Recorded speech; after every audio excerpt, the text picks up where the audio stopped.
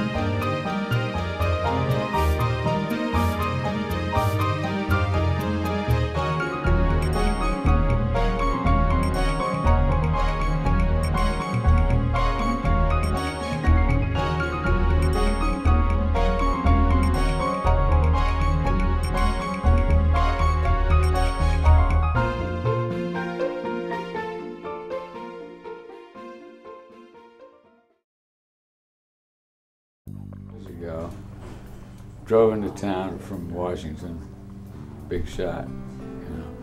In a little green Morris, new Morris Minor. I sent up, had the plates from Massachusetts and sent down to Washington, put them on the car. Drove into town. No sooner got at the stoplight by Jimmy Laurie's gas station than uh, this tall cowboy walked off the curb and arrested me. I wasn't in town two minutes before I was under arrest, and that, that's how it all began. But When you what- came when you came to Orleans, um, at that point, had you purchased the Cape Codder? Yeah, I bought it from Jack Johnson, and uh, uh, as- uh, May 1st was the day I was supposed to take over, and I arrived to take over, and Bill Payne arrested me. See, well, Bill Payne was a registry of motor vehicles inspector in the area. He lived down on Town Cove, near where Deli used to live on the Cove, and uh, he was a very nice guy. And he didn't know me from Adam, of course, but I didn't have an inspection sticker on the car. May 1st was inspection date back in 51. I don't know if it still is or not. No, it's different now, but May 1st was inspection date, and uh, I drove into town with new plates and everything, but no inspection sticker. So he hauled me over into Jimmy's station and talked to me and explained when I was just coming in what happened. He kept looking at me though, you know, a little bit strange. So they had to roll a little green Morris Minor over to Tubby's garage, the Texaco station, which was then known as Tubby's for Herb Wilcox owned it then, and put a sticker on it, and then we, uh, uh, from that time on, uh, Bill and I were, became very good friends. But, but it was a little bit of a shocking introduction to the town, and it went from went downhill from there. you see, but but it was uh, it was typical of those days because the old timers around were. Uh, were real old timers. There aren't many of them left now, and and uh, and I was 35 years old at that point, so you know I was still pretty young, although I didn't think of myself as young. but uh, so I had to pick up and get introduced around town to some of these people, and uh, not only Orleans, but some of the other towns too. And I uh, I can remember getting introduced in the center of Orleans by old Kurt Dory, who ran the ran Dory's coffee shop up where Backus and Soul is now. It was that was the place where everybody sat in the stools and had coffee in the morning. And Jack Johnson had introduced me to Kurt, and Kurt gave me a once over with a sort of a skeptical eyes anyway. And he also had a certain mischievous uh, quality about him. First morning I came in for some coffee of my own, he grabbed me and there was a line of about six, seven, or eight uh, old guys sitting at the counter with their coffee. I remember old George Eldridge and I think uh, I think Norman Hopkins was there, but guys with that vintage. And th- this mischievous little uh, Dory says, "Oh, fellas, I want you to meet uh, the fellow that just uh, bought out Jack Johnson." And uh, and he had this look in his eyes when he was looking at him, saying, do "You want to see a real live one? This is it." So they all, t- their heads all turned, and I'll never forget the looks on these guys' faces. Perfectly polite, but their eyes were looking at me to say, "Boy, look at this guy." He was dumb enough to buy the silly newspaper, you know. It was just, that's the way it started. How, how long? How old was the Cape Codder at that point? Uh, Jack had had it for five years. He bought it. He, I mean, he started it five years before. It really wasn't too much of a paper. It was quaint, Mhm. but, but it uh, was suffering badly. And Jack pretty much ran it out of the back of his automobile and had it printed down in Yarmouth. So it wasn't. Uh, This was definitely not a corporate takeover. no, it really wasn't a corporate takeover. I could tell you the price, but you wouldn't believe it. It was five thousand bucks. Wow. So it was, uh, it was, uh, you know, it wasn't really a very big deal, but five thousand bucks to those guys. And I think they didn't know how much I paid, but they suspected I'd paid too much if I paid anything. so, but anyway, the, the, those guys were around town. I remember Shaq Chase uh, used to sit on one of the benches up by the old cemetery near Dory's there.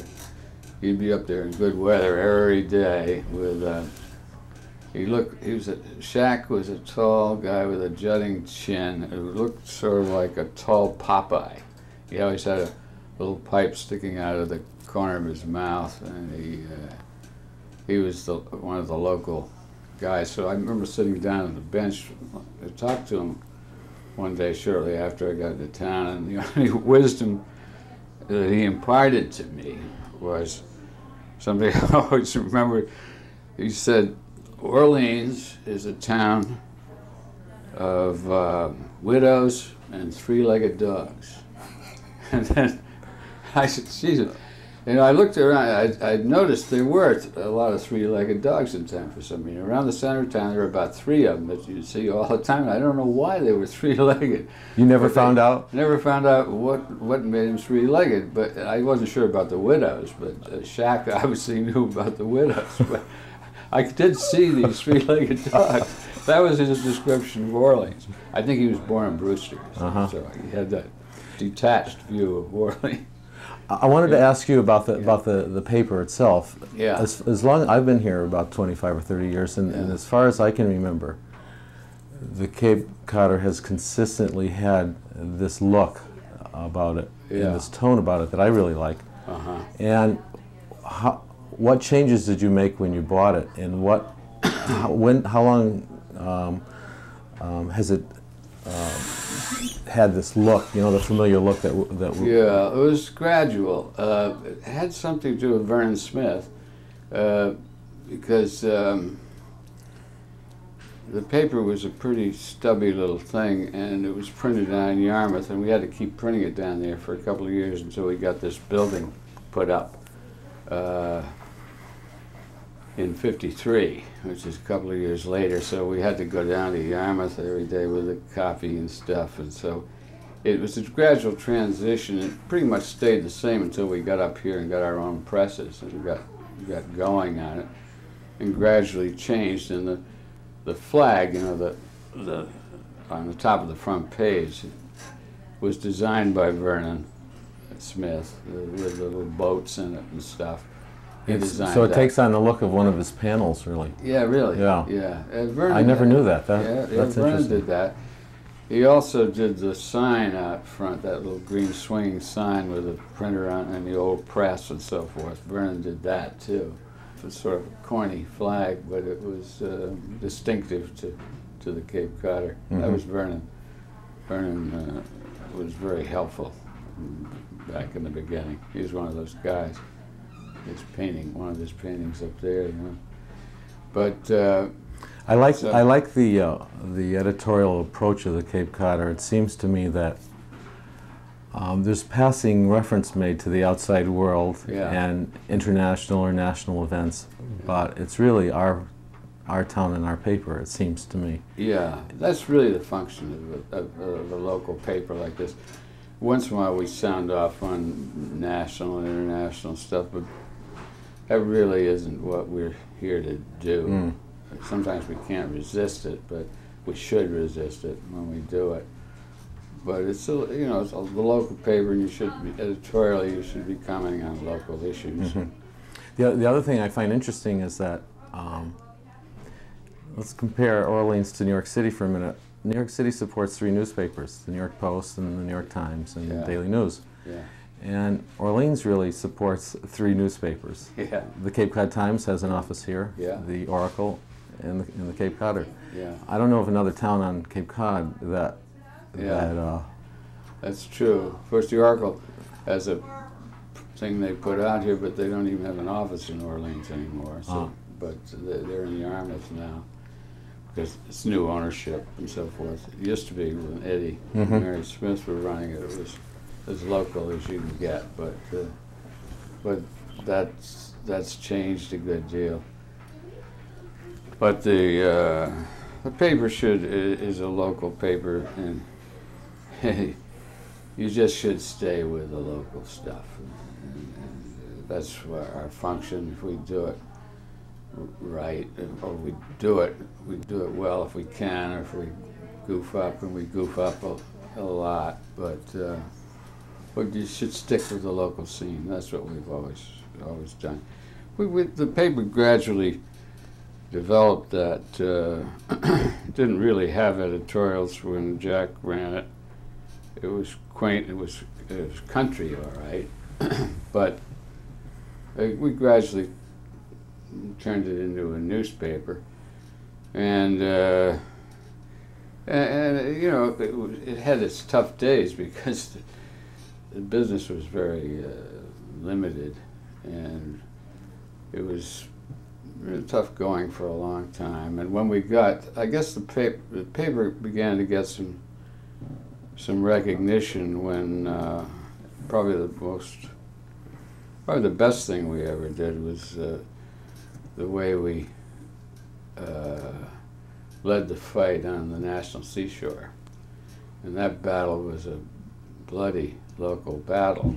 Uh, back in the late 50s and early 60s, it was uh, really uh, touch and go. And Wh- When you say you led the battle, were you Well, leading we- the battle for the government forces or Yeah, for? yeah, we were for the seashore hmm uh, from the beginning, and we had, we lucked out there because uh, there was a.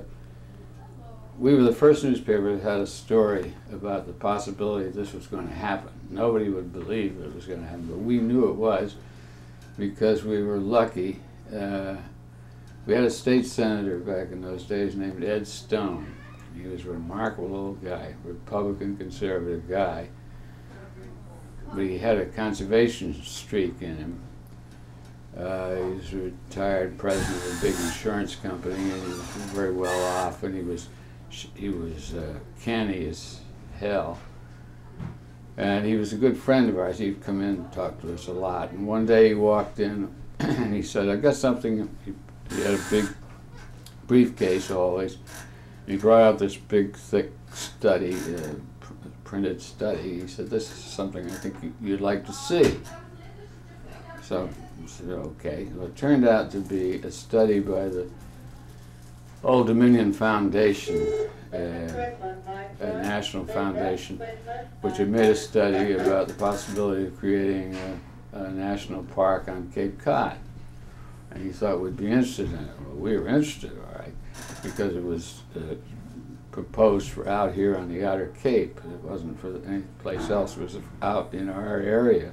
What year would that have been, That Malcolm? must Around. have been uh, around 56 or 7, 1956 or 1957. And so he left it with us to read. We digested it. It was a hell of a story, and we broke the story. And no one would really believe that this could possibly happen. I suspect that Ed Stone uh, got this through. Uh, he lived in Oyster Harbors, a fancy place, you know, a lot of money place, and I think he was a, a pretty good friend of Paul Mellon's. And Paul Mellon, the Mellon family, I think, had money in the Old Dominion Foundation, and I think that that was where the money came from for their studies. And so they gave it to Ed Stone. Ed Stone leaked it to us because he wanted, politically, he wanted to get this out. See, So we, we got it out all right. And uh, I remember And that's when the fur began to fly around yeah, here. it really began to fly. Charlie Frazier, who was the, you know, the big boss in Wellfleet, uh, snorted and snarled and went at it. You know, he, he laughed at us. He made fun of us. He said, I think he thought we were smoking something that we shouldn't have been smoking or something like that. But Charlie would not believe that this was true. Well, it turned out that it was not only true, but it was much closer to happening than they, than they thought because the seed had been planted in the Interior Department. And uh, both Senator Leverett Saltonstall and Senator, a guy named John F. Kennedy was the other senator at the time, uh, they were, liked the idea, thought it was a great idea. So they, they got behind the legislation, and Hastings Keith, who was our congressman at the time, somewhat more reluctantly, but he joined them. So the three of them got legislation going, and uh, the battle got underway, and, and eventually was won. But uh, locally, it was not a very popular thing, uh, particularly in the business community. And of course, Did you personally receive a lot of criticism uh, yeah, for we, got, we had a lot took? of criticism, uh, and uh, I can remember, you know, we there was no advertising boycott against us, but there was advertising was cut, uh, and we didn't uh, get advertising we should have been getting, and, and we, we just we we just caught hell all over the place. The I can remember uh, Alton Smith, the, the, the Smith boys, A.F. Smith and Sons. I, I always liked Alton, but he was so dead set against the park, and he was so mad at me for, for supporting it that we never did get an inch of advertising out of out of A.F. Smith. After that, although Alton and I stayed friendly and we used to talk about it a lot, but no more money out of Alton for that sort of thing. And even even guys like Josh Nickerson, uh, who was a, a friend and had always been friendly, but when this happened, Josh was upset too. And of course, Nickerson Lumber was a big advertiser. And, and Josh, one day, Josh called me up and gave me unshirted hell on the telephone about our position, editorial position, support of this thing. He, he just uh, couldn't understand it, and he, he, he went on and on and on. And finally, I had to say to him, I, I, I got so tired of this tirade. I finally said to him, "Well, look, Josh, that's all very well, but but I'm running this paper." And Josh said, "Yes, I know you are, and I don't like it." Bang! Hung up on me, you see. And so, uh, but Josh, to his credit, as far as we were concerned, never cut his advertising. He didn't. Uh, he didn't cancel his advertising certainly, and we still were friends. But uh, and of course, Josh became the first. He became convinced of the thing too eventually, and became the first chairman of the advisory commission to the National Seashore when it passed, and it was very helpful to getting the thing underway once it got going. But So he saw the early days. Uh, things were a little, a little rugged. So that's the thing we're most proud of because that set aside, you know, around 35,000 acres, and uh, and if, if we didn't have that today, this area of the Cape would be a lot worse off. It'd be decimated. Yeah, it really would. And there's no way you could establish a park with uh, the congestion that they would have No, would have developed over the years.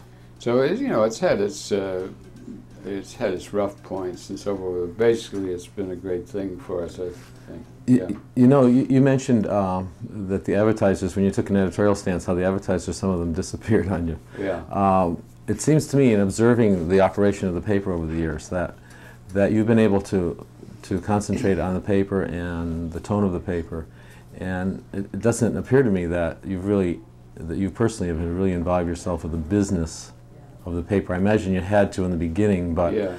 your function here pretty much has been setting the editorial tone Right. and, and really not, and you've had good people that can take care of the business end of it. Is that yeah, true? that's exactly what it was. I was very naive uh, and still am on the business side. I was a newspaper man, you know. I'd always been a newspaper man. So I, I, uh, I just didn't.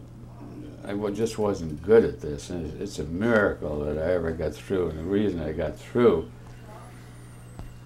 basically, was that uh, I had some friends who helped. Uh, the Donham family was the principal one. Both Phil Donham, who was with Arthur D. Little at that time, was was helpful.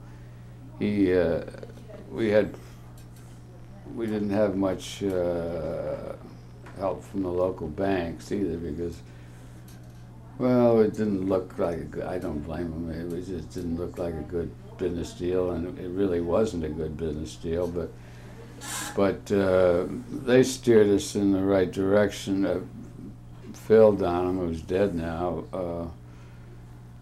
uh, was largely instrumental in getting it set up with the old uh, First National Bank of Boston, which helped us a great deal. And for some reason, they uh, they backed me personally, and I never could quite understand why they did that. But uh, Phil used to always say, "Look, you don't understand. The Bank of Boston, uh, the old First National Bank of Boston, it's a different bank now, but uh, was identified with a lot of small businesses in New England and during the Depression. And the last thing they could do is to do something that would put a weekly newspaper out of business. They would try to help." And so they did, and, and they were, but it was because of the Donham fa- family's influence, I think, that this happened, rather than uh, my personal character or anything like that. But it was this was luck. And then Paul Donham, uh, who was Harvard Business School professor, uh, began to just pro bono give us a lot of good advice and so forth. And then when he left the faculty up at the community college, why we convinced him to to come to work for us and, and really take over the business side. And so it's really Paul's. Paul has should have the credit for the success of the paper and in terms of its economics and business because I uh, I was hopeless at Mhm. that. I, I was an editorial man, always have had been, and uh, probably always will be. So But I'm sure it gave you a freedom to really um, Yeah, um, yeah, that- discuss the issues the, the way yeah, and the manner yeah, that you wanted he, to. He understood that. He understood, and he just took that big load off my shoulders. And otherwise, it would never have flown. So I really have a lot of. I owe the Donhams an awful lot. I, I, I know that uh, you've got to get going to the Land Ho for, Yeah. for lunch pretty Right. soon, and I wanted to. We talked earlier about um, this town and how it's changed, and I, Yeah. I think also how it hasn't changed. Um, Yeah. And I was saying earlier how around 1980, I think just after the 70s, I started to see uh, people showing up at lunch at the Land Ho Right. in pinstripe suits and Yeah. dark business suits and banker gray and so forth. Yeah, forth. you're right. And um, prior to that, it had always been usually the same old gang around Right. town. Yeah. Um, matter of fact, um, I, I have a list of names in my mind. I just want to throw Yeah. by you because it seems like um, it's a different, it's a different uh, town in one respect than it Mm. is now. Well, And some of the, some of the people that you you'd run into almost on a daily basis in the Ho at Yeah. lunch, for instance, Yeah. would be uh, a Frank Richards and uh, Yeah. uh, Sumner Robinson and, Right. and uh, Tommy Nickerson, Paul Henson, Yeah, uh, Gaston, yeah. Ivor. Jimmy Delory would be across the street at the Yeah. gas station, and uh, Jackie Right. Jackie Higgins and Yeah. Dell Johnson, Yeah, um, yeah, Dickie Dell. and uh, you know you'd see Fritz Hobner around town and Yeah. Charlie Moore, Ed Yeah. Smith, Right. and uh, that seems like it was a much more familiar. Our town was a more familiar town. I don't know if it's me like being an old Yeah. man reminiscing about uh, the old days, but it seems like our town's not quite as familiar as it was. No, that's very Um, true. Of course, a lot of that was the Grim Reaper. You know, a lot of it died. Mm-hmm. Uh, a lot of guys that uh, just uh, aren't here anymore. You know, the, of those names you mentioned, uh, I'll, I'll bet seventy-five percent of them are, are gone. Mm. And uh, it's it's uh, the town has changed. I mean, the te- tenor of the town. You don't see whenever you see one of the old familiar faces. It's like uh, Christmas. God, how are you? In the old days, you would you probably said hi. You know, you see him all the time. But now, when you see somebody like that, you say, "Jesus, great to see you. How what how things?" You and you get talking, and but it's a smaller group now. It's a very small core, and you don't see them that often. And it's a bloody shame. So in that sense, or you know, Orleans is is changed, but Yeah. in another sense, I think that our town is really it's kind of insulated from major change. I don't. I think Yeah. you're not going to see. We're, we pretty much uh, established the town has established itself over the years gradually, Yeah, yeah. so that um, although it's changed, it really hasn't either. And, and I, I think in the future, um, there aren't a lot of changes that can really, you know, make Yeah. a difference here. I would think. I, I, don't think I think the changes have been made. The, the two big changes are the shopping centers on both ends of the town. That that that was not uh, a terribly great thing for the Mhm. cohesiveness of the of the town center certainly, and for the business community. I think I think it was it was just too bad. But I think that's done and it's been pretty much resolved. And I think now it's just a question of rebuilding that center of the town, strengthening that town center. Perhaps uh, the Orleans, Orleans Shopping Plaza, which is sort of uh, getting very shoddy and so forth, and, and untenanted to a large degree. One of the keys is going to be to some do some radical changes in that area and make it a downtown type of place rather than a remote cold shopping center. But, Or I uh, think Orleans is, is really too. It's like a microcosm of the United States because the Yeah. same trend has happened across the country, where the shopping malls and the Yeah. and, and the, and the shopping by automobile yeah. uh, has left the town centers. Uh, Yeah, it's a coldness that's settled, a cultural coldness. It's just, uh, I don't think it's been good, but I think that things are beginning to change. I had an editorial recently about what's going on in Mashpee, where they've done that. They bulldozed an old shopping center there and made a downtown out of it. Uh, Mashpee has never had a downtown, actually, because it's stretched along 28, and it's, it doesn't really have a center. It's sort of like some of the other, like Eastham, doesn't really have a center.